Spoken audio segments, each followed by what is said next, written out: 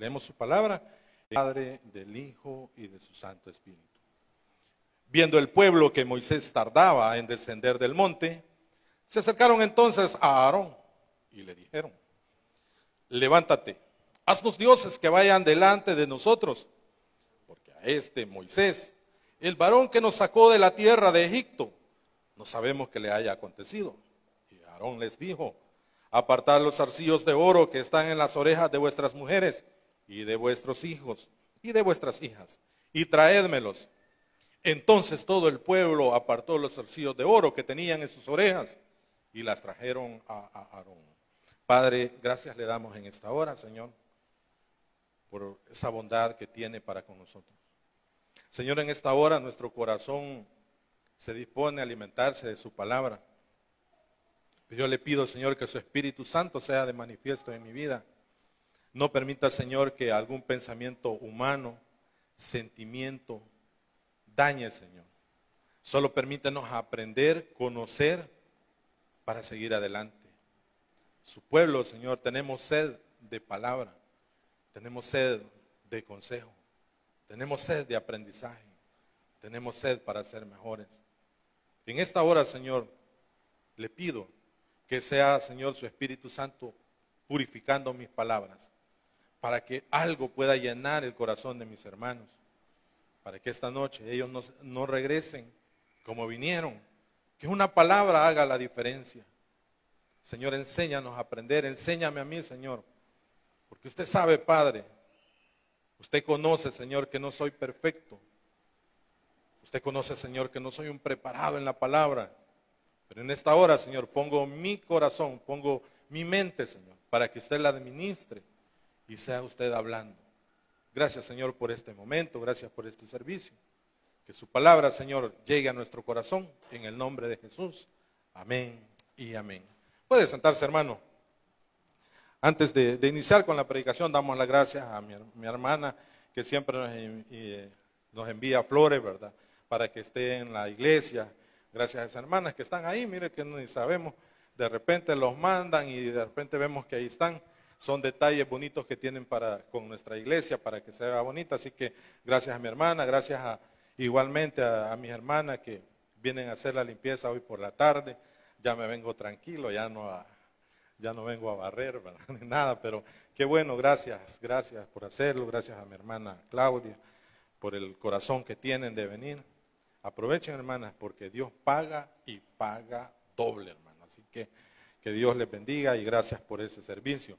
Esta noche, hermanos, vamos a hablar un poquito de no desesperarse, Muchas veces nosotros nos desesperamos ante nuestro milagro.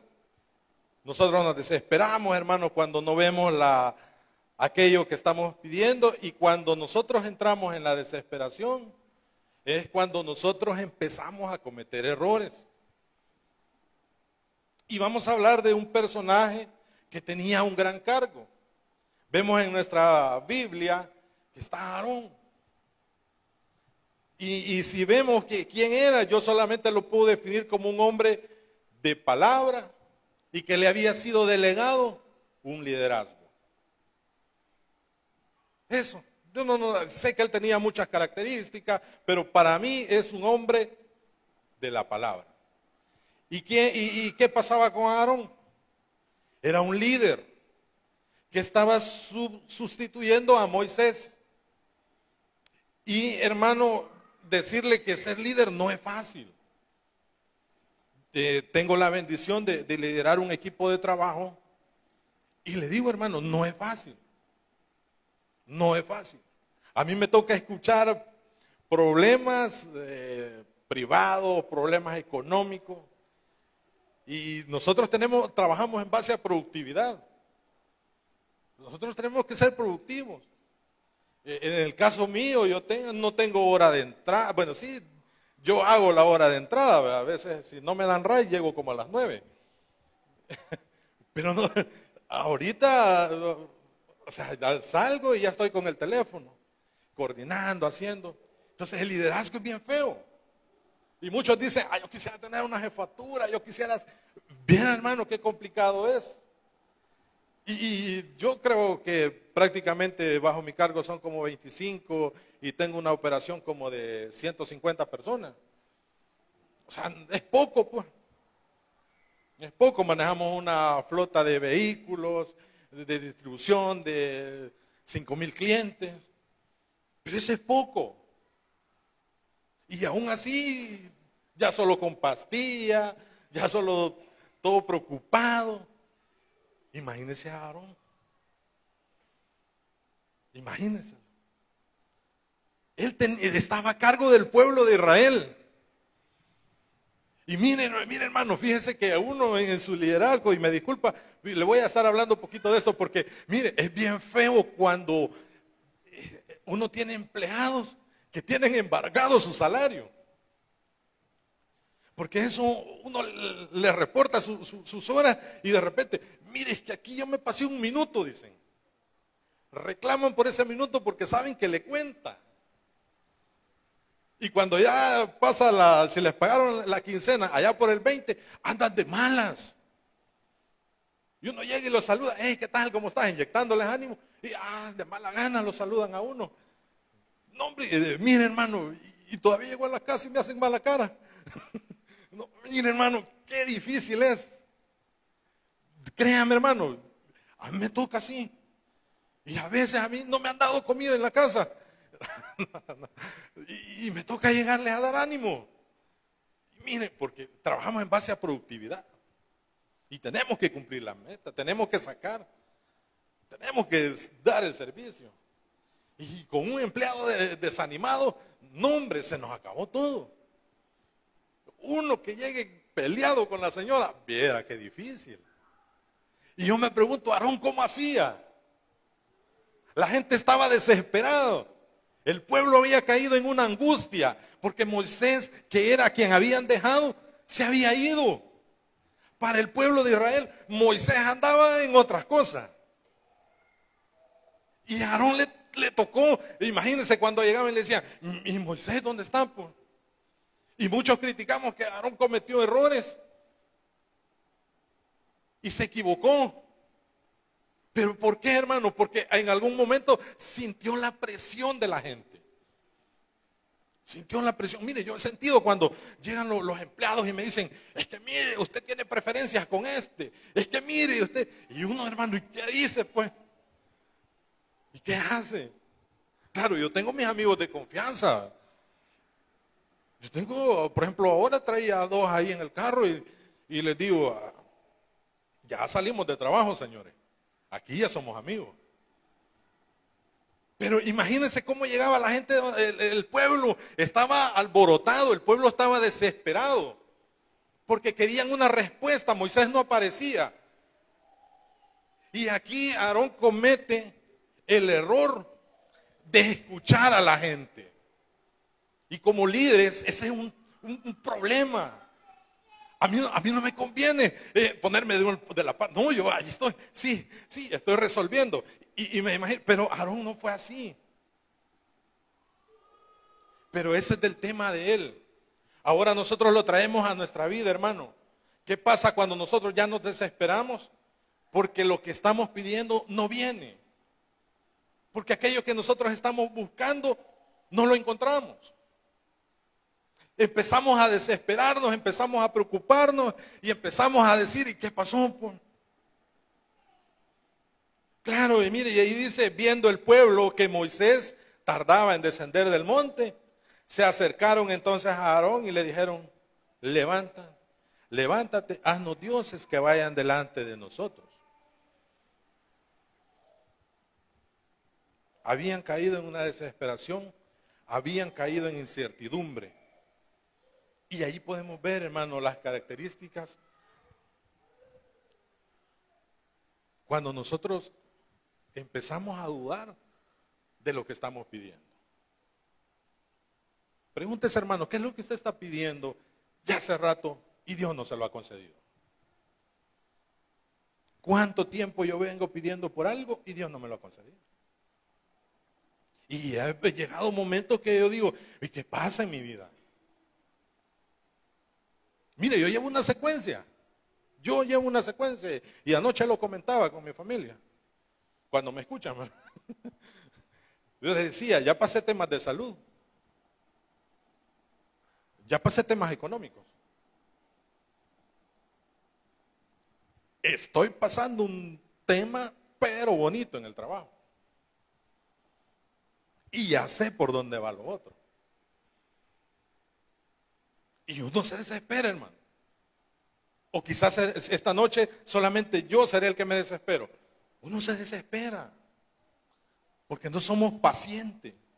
Pero ¿cuál fue el mayor problema del pueblo de Israel? Muchas veces nosotros nos comportamos como el pueblo de Israel. Y creemos que Dios se olvidó de nosotros. Ese fue el problema del pueblo de Israel. ¿Por qué fueron a Aarón a presionarlo y a decirle que necesitaban que le creara dioses? Primero porque necesitaban ver algo para poder creer. Segundo, ellos pensaron que Dios se había olvidado. Nosotros en nuestra vida, hermano, hemos llegado a creer que Dios se ha olvidado de nosotros. Que Dios no nos escucha, que Dios ya no me oye mi oración. Y empezamos nosotros, hermanos, a llenarnos de, esa incertidumbre. 450 años de esclavitud tuvo, el pueblo. 40 años en el desierto y nunca le faltó nada. ¿De cuántos problemas Dios nos ha sacado, hermano? ¿Y por qué ahora vamos a creer que Dios se ha olvidado de nosotros? Porque ahora vamos a empezar a buscar y a decir, no, es que Dios ya se apartó de mí, Dios no se ha olvidado de nosotros. Pero no dejemos de buscarle, hermano, de perseverar. En una predicación del sábado, de un sábado yo le decía, volvamos a hacerlo de antes, hermano. Volvamos a hacerlo de antes. Otro problema que Aarón cometió. Había perdido la visión. La visión, hermano, es aquello que yo quiero lograr. Pero para lograrlo yo tengo que tener una disciplina. Y la disciplina es la que menos nosotros queremos, hermano.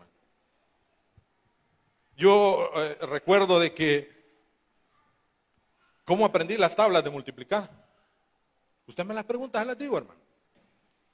Me puedo hasta la del 20. Me las puedo. 15 por 10, 150. 20 por 10, 200. Fácil. Solo le pone los ceros. Pero ¿cómo la aprendí, hermano? Yo las tablas de multiplicar me las aprendí con mi hermana, con, la mamá de mi hermana Marlene. Que con permiso de ella lo voy a decir, con mi hermana, con, era mi profesora Marina. Viera cómo me motivaba. Ah, dijo, el que no se las aprenda no sale. Y se va a ir hasta que las diga. Y yo recuerdo que ya por unas varas de bambú, 3 por 3, 9, y ahí repasando. Así me la, hasta ahora no se me olvidan. 9 por 9, 72. 8 por 8, 64. ya ve, hermano. Pero ¿cómo me lo aprendí? Con disciplina. Y Aarón perdió eso, perdió la visión. Y empezó a escuchar lo que el pueblo le decía. Y empezó a llevar cosas. Y, cuando ya ha cedido le dice, Aarón les dijo, apartar los arcillos de oro que están en las orejas de vuestras mujeres y de vuestros hijos y de vuestras hijas y traédmelos. Cuando uno, hermano, pierde la visión, pierde la disciplina. Y cuando pierde la disciplina, empieza a hacer cosas erróneas. Y empieza uno a equivocarse. ¿Qué fue lo que les dijo Aarón? Ah, pues, entonces voy a construirles el, becerro que ustedes quieren. Y mire hermano, yo quiero hablarle a los que somos padres, los que tenemos una familia. Hay errores que nosotros cometemos con nuestros hijos. Y uno de los errores que yo he cometido es ponerle una pantalla en el, en el cuarto a, a uno de mis hijos. Es un error, hermano. Y no sale. Ahí entro a su cuarto y cable por donde sea. ¿Qué computadora? ¿Qué tal? Hermano, ya no quieren compartir con uno porque yo le llevé. Porque yo perdí la disciplina. En mi caso, hermano, teléfono. Si hoy estaba con el teléfono, bueno, le dije, ¿y usted qué, piensa? No va a ir a la iglesia, pues. Vaya, le dije, yo voy a ir a predicar ahora de, la disciplina y, en la casa. Tenemos que tener cuidado, hermano, porque cuando perdemos la visión, perdemos la disciplina y empezamos a llevar cosas que no debemos a nuestra casa. Cuando nosotros perdemos el milagro, perdemos aquello, lo que queremos de Dios. Y empezamos a cambiar y pensamos que Dios no nos va a dar. Le pedimos un negocio grande y como vimos que Dios no nos contestó, Estábamos orando por un microbús de 26 personas, pero como Dios nos contestó, ah, pues que sea un panelito, dame, Señor. Porque cambiamos la visión y ya no somos disciplinados. Señor, no, es que menosprecie el panelito, sino porque lo que estamos pidiendo es grande. Pero empezamos a bajarle. Señor, yo quiero un negocio de comida grande. Ah, bueno, dice el Señor, vamos a ver. Y le llegan a buscar un plato de comida y dice que no hay. Entonces, ¿cómo va? No va a administrar un negocio grande si no hace ni un plato de comida. No se puede. No se puede. ¿Me entiende? Cuando perdemos la visión, perdemos la disciplina y empezamos a creer que Dios no lo puede hacer. Número tres. Creer que no lo merezco creer que no lo merezco. En algún tiempo de mi vida le he comentado, hermano, que yo siempre me iba al baño y ahí metía la cabeza y decía que yo era así, no valía nada. No, hermano. No, yo valgo mucho. Mira qué gordito, eh. Viera cómo ando sudando. Pero si valgo mucho, hermano. Usted vale mucho. Usted no puede decir que no lo merece. Y que nadie le venga a decir que no lo merece, hermano. Sí que los tratos son personales con Dios. Yo no conozco sus tratos. Yo, ¿y, qué habrá dicho la hermana? Y yo ya le preguntaba, cuéntanos hermana, ¿y qué fue esa bendición? Que solo fue la mitad. ¿Y quién quita si eran 10 mil dólares y solo le dieron 5 mil? Y comparta, pues. y yo, queriéndole preguntar. Hermano, los tratos son personales. Dudar que Dios no lo puede hacer. Porque Aarón empezó a, a ser un Dios y empezó a escuchar a la gente? Porque perdió la disciplina, porque perdió la visión y porque dudó que Dios le iba a regalar algo grande al pueblo de Israel. Al pueblo cristiano Dios nos tiene grandes cosas. Pero no debemos de dudar.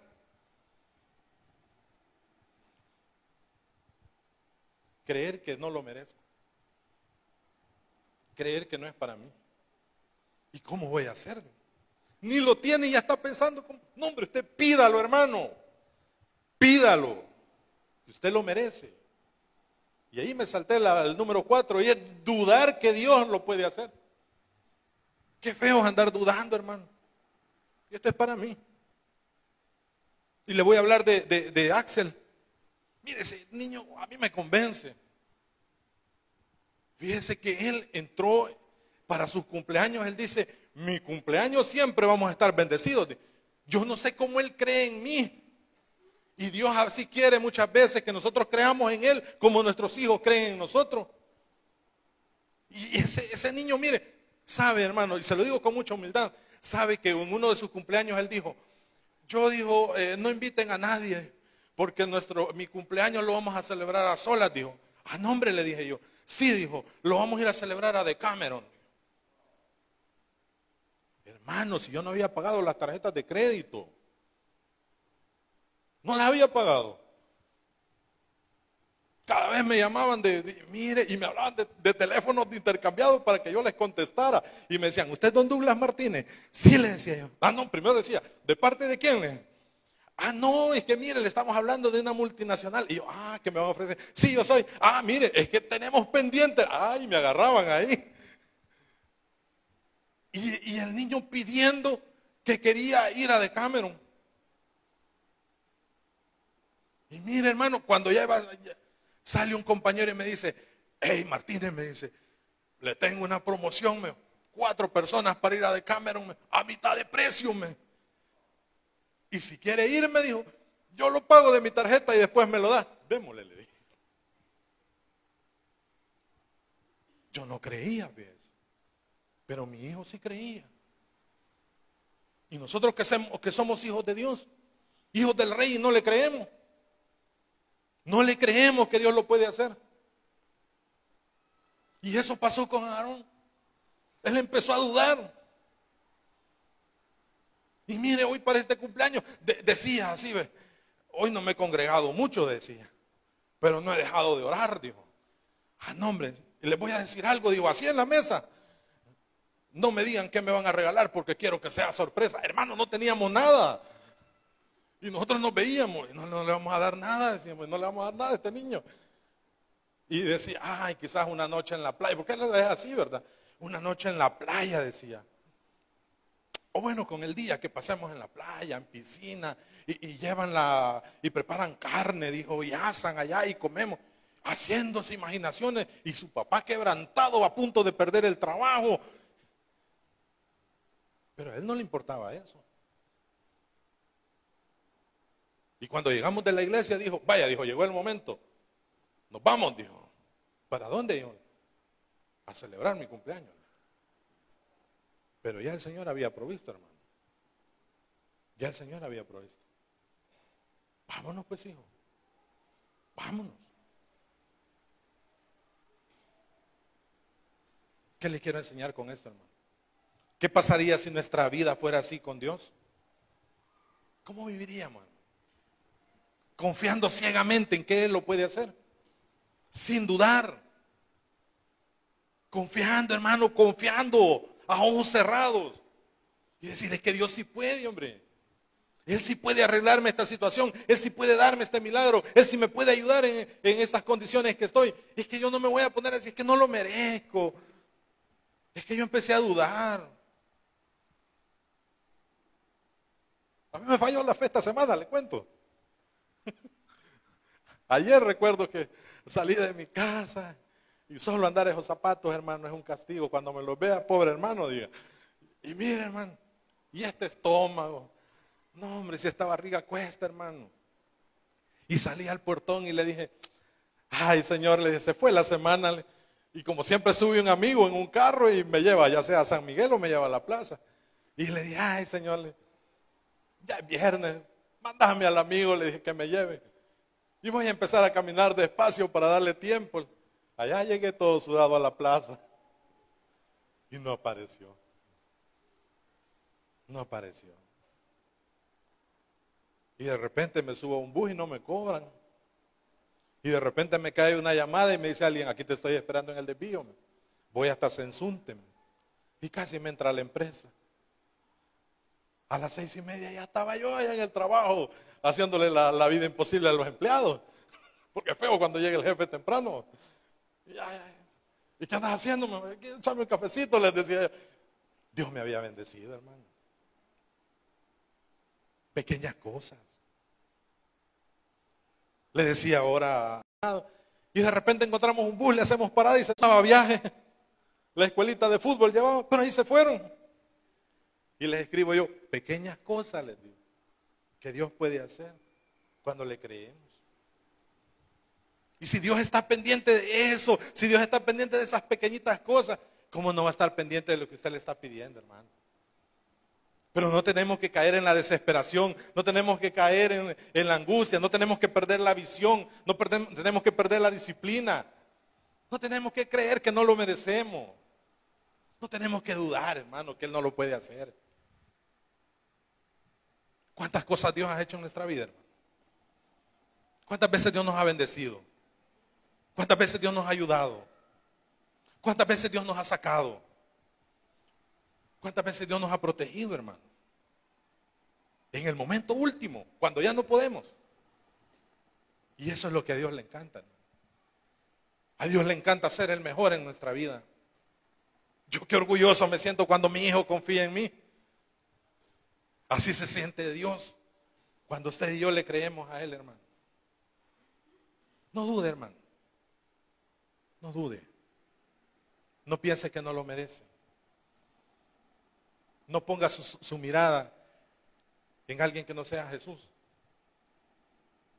Y si usted hace eso, y si usted no llega a creer que Dios se ha olvidado de usted, Dios le va, nos va a bendecir. Y Dios nos va a dar eso que estamos pidiendo. Pero usted tiene que agarrarlo, hermano. Y agárrelo así y créalo por fe y aquí en la bolsa y diga, esto es mío, esto es para mí. Esto es lo que Dios me ha dado. Esto es lo que Dios tiene para mi vida. Esto es lo que Dios tiene para mi familia. Esto es lo que Dios tiene para mi negocio. Esto es lo que Dios tiene para mi trabajo. Esto es lo que Dios tiene para mi ministerio. Esto es lo que Dios tiene para mi iglesia. Esto es lo que Dios tiene para mí.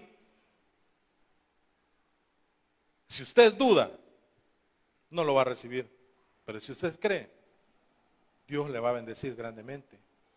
Porque Dios es fiel para con nosotros y para con los que creen en Él. Vamos a orar, hermanos. Padre, gracias le damos en esta hora, Señor, por su bondad y por su misericordia. Gracias, Señor, por las cosas que nos ha permitido esta noche aprender. Quizás esta noche seré yo, Señor, el que más aprendo y el que he llenado mi corazón diciéndote gracias, Señor. Gracias porque usted no se ha apartado de mí. Perdóneme, Señor, si en algún momento de mi vida he dudado. Perdóneme, Señor, si he llegado a creer que usted no está conmigo. Perdóneme, Señor, si en algún momento perdí la visión de lo que he estado pidiéndole. Pero en esta hora, Señor, yo renuevo mis pensamientos y le digo, aquí estoy.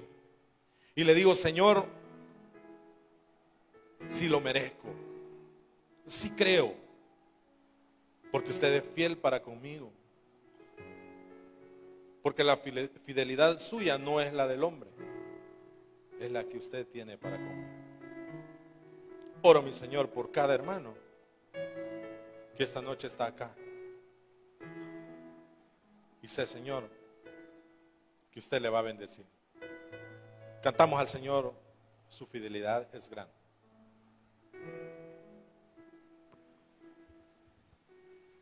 Tu fidelidad es grande.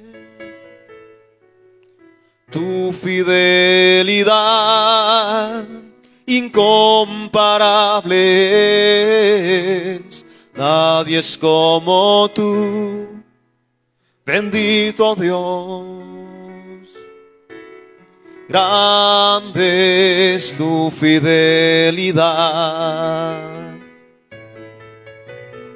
Tu fidelidad es grande. Tu fidelidad incomparable es Nadie es como tú, bendito Dios. Grande es tu fidelidad. Grande es tu fidelidad. Señor, en esta noche creemos que su fidelidad es grande. Le pedimos perdón, Señor, porque en algún momento de nuestra vida hemos dudado y hemos llegado a pensar que no merecemos ese milagro, ese regalo. Y hemos dudado de su poder y su misericordia. En esta noche renovamos nuestros pensamientos, Señor. Y le decimos, Padre, desde que usted entró a nuestra vida, a nuestro corazón, nosotros somos diferentes. Y aunque el mundo nos vea mal, Señor, nosotros fuimos comprados con sangre y valemos la sangre de Cristo. Y nadie nos va a venir a robar esa bendición. Nadie nos va a venir a apartar de algo que usted pagó por nosotros, porque usted envió a su Hijo unigénito a morir por nosotros. Y es esa la bendición que nosotros debemos de saborear, hermano. Y saber que lo que tenemos lo tenemos por fe. Y en esta noche, Señor, venimos delante de usted a decirle, perdónanos si hemos creído que se apartó de nosotros. Perdónanos por haber apartado nuestra visión. Perdónanos por haber pensado que no lo merecemos. Perdónanos, Señor, porque hemos dudado. Pero ahora, Señor, le decimos, Seguiremos adelante creyendo que usted está en nuestra vida, en nuestro corazón. Volveremos a tomar la disciplina para buscar el milagro. Y volveremos a creer que nosotros valemos mucho. Y sobre todo, Señor, no vamos a dudar que usted lo puede hacer. Esta noche, Señor, nos vamos a nuestra casa contentos, creyendo, pensando cuándo llegará la bendición para nuestra vida. Gracias, mi Señor, por su presencia. Bendiga a nuestro pastor, bendiga los cultos, bendiga los servicios del día de mañana. Bendiga, Señor, la celebración. Bendiga la semana, bendiga a nuestros hermanos servidores, nuestros hermanos líderes. Bendiga a los que predican la palabra. Bendiga a mis hermanos. Guárdalos en el hueco de su mano. Llévalos con bien, Señor. En el nombre de Jesús hemos orado. Amén y amén. Que Dios les bendiga, mis hermanos.